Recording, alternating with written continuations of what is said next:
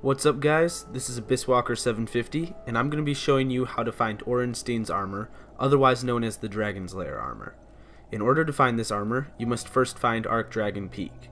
I have a video on how to find that area, so go ahead and check that out if you need to. Once you have reached the end of the area, ring the massive bell.